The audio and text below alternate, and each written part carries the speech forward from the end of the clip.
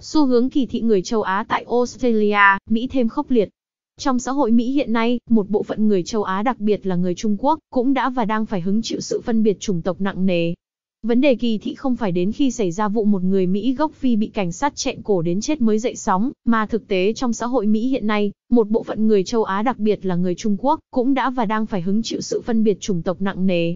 Xu hướng này càng lên cao sau khi đại dịch COVID-19 được cho là lan từ Vũ Hán, Trung Quốc ra thế giới. Số vụ kỳ thị người châu Á hậu COVID-19 tăng cao.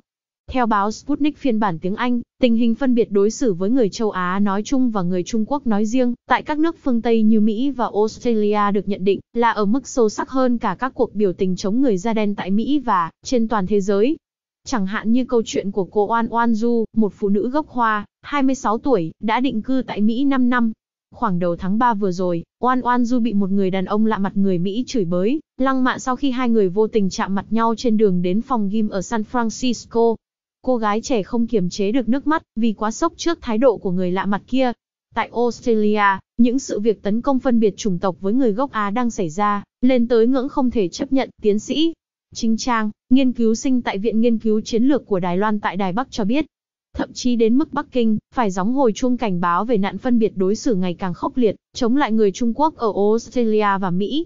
Phản ứng trước những cáo buộc của Bắc Kinh, Bộ trưởng Bộ Tài chính Australia Matthias Coman tái khẳng định, Australia luôn có thái độ hoan nghênh và thân thiện. Nước này rất quan tâm tới du học sinh từ Trung Quốc, bởi tổng chi phí thường niên của nhóm này cho ngành giáo dục lên tới 12 tỷ đô la Australia, tương đương 8 tỷ USD, theo tính toán từ Reuters.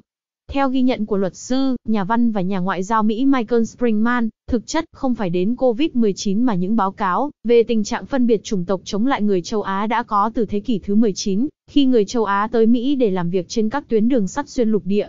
Sau làn sóng di cư đầu tiên, Mỹ ra luật loại trừ đối với Trung Quốc vào năm 1882, trong đó cấm người lao động nhập cư Trung Quốc vào Mỹ trong 10 năm, đặt ra một số hạn chế đối với người Trung Quốc đã đến Mỹ, sau khi luật này hết hạn vào năm 1892, Quốc hội Mỹ tiếp tục mở rộng thời hạn hiệu lực và bãi bỏ vào năm 1943.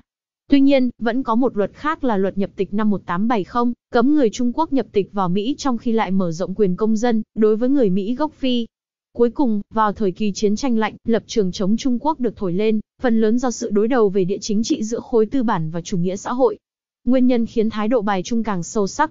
Nhận định về nguyên nhân khiến tình trạng bài trung nói riêng, phân biệt đối xử với người châu Á nói chung gia tăng, tiến sĩ Trang cho rằng, mâu thuẫn giữa chính phủ Australia với Trung Quốc về cơ bản chỉ là mở rộng sự thù địch giữa Bắc Kinh và Washington sang Australia.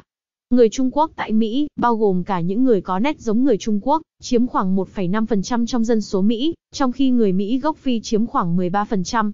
Đồng tình với học giả tại Đài Loan, ông James O'Neill, nhà phân tích về địa chính trị, luật sư làm việc tại Australia nói thêm, những cáo buộc mà chính phủ Trung Quốc đưa ra thực chất là phản ánh cách chính quyền Bắc Kinh phản ứng với việc Australia ủng hộ Mỹ trong chiến dịch chống Trung Quốc của họ. Quan hệ ngoại giao giữa Trung Quốc và Australia rơi vào bế tắc khi Canberra kêu gọi điều tra quốc tế độc lập về nguồn gốc virus corona mới tại Vũ Hán, phần lớn là ủng hộ lập trường của Tổng thống Mỹ Donald Trump. Trước đó, ông Trump nhiều lần gọi virus gây ra đại dịch COVID-19 là virus Trung Quốc, và không loại trừ khả năng loại virus gây chết người này đã lọt ra từ phòng thí nghiệm virus ở Vũ Hán. Bên cạnh đó, ông O'Neill thừa nhận chính cách xử lý thiếu thỏa đáng của chính quyền các nước sở tại đã khiến tình trạng phân biệt đối xử với du học sinh châu Á ngày càng tồi tệ. Theo ông O'Neill, bản thân chính phủ Tổng thống Trump có lẽ là tác nhân không nhỏ khiến thái độ phân biệt đối xử với chính phủ, cũng như người dân Trung Quốc tại Mỹ thêm sâu sắc.